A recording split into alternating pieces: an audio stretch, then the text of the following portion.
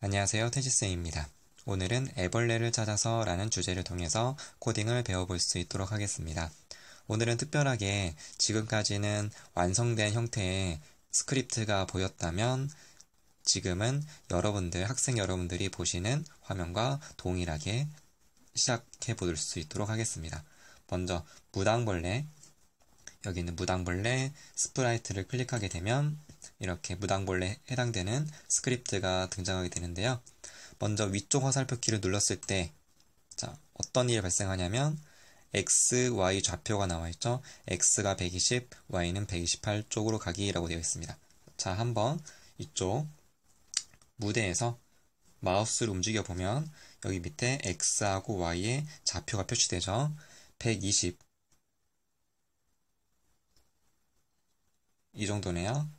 그리고 128.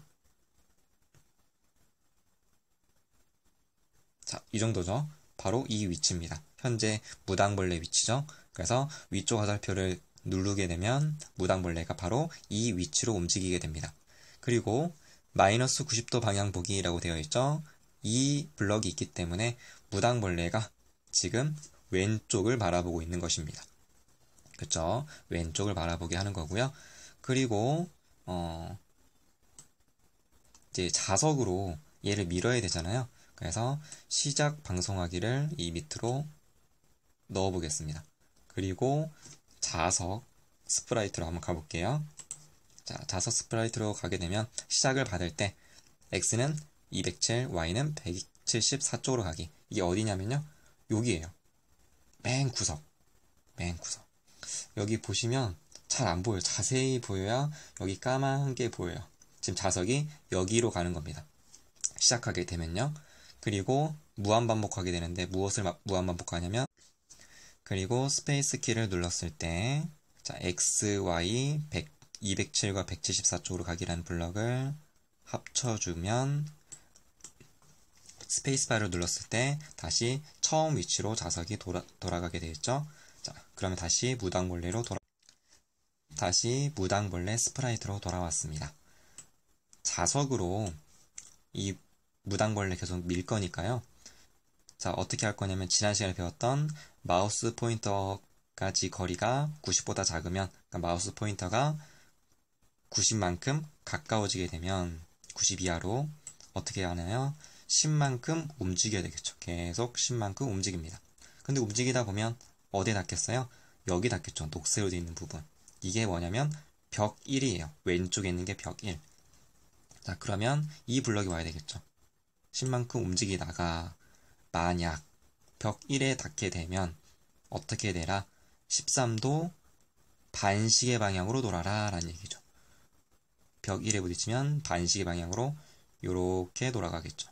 자, 그리고 또 쭉 이렇게 쭉 가다가 오른쪽 벽에 닿으면 이게 벽 2니까요. 자, 요 블럭을 밑으로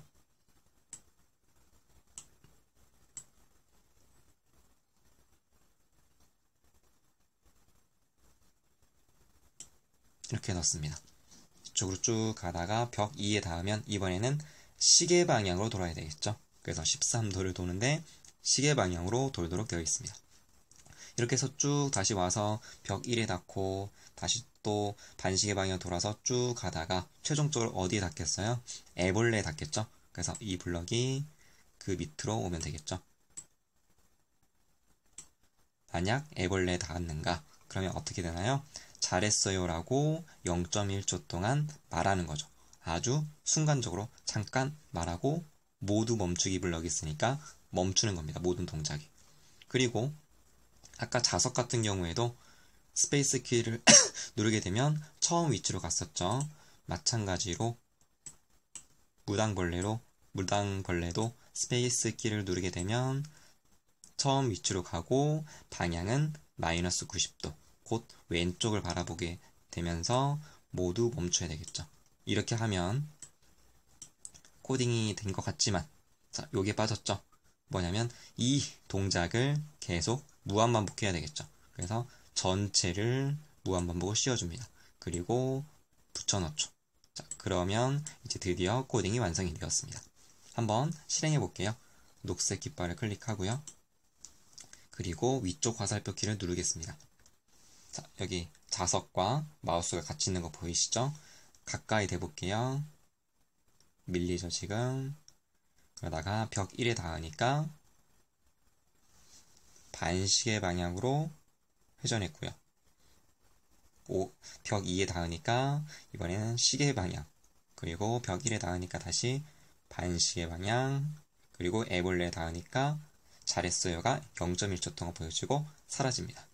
그리고 스페이스 키를 눌러볼게요. 자, 스페이스 키를 누르니까 무당벌레도 원위치, 자석도 처음 위치로 돌아갔습니다. 이상 마치도록 하겠습니다.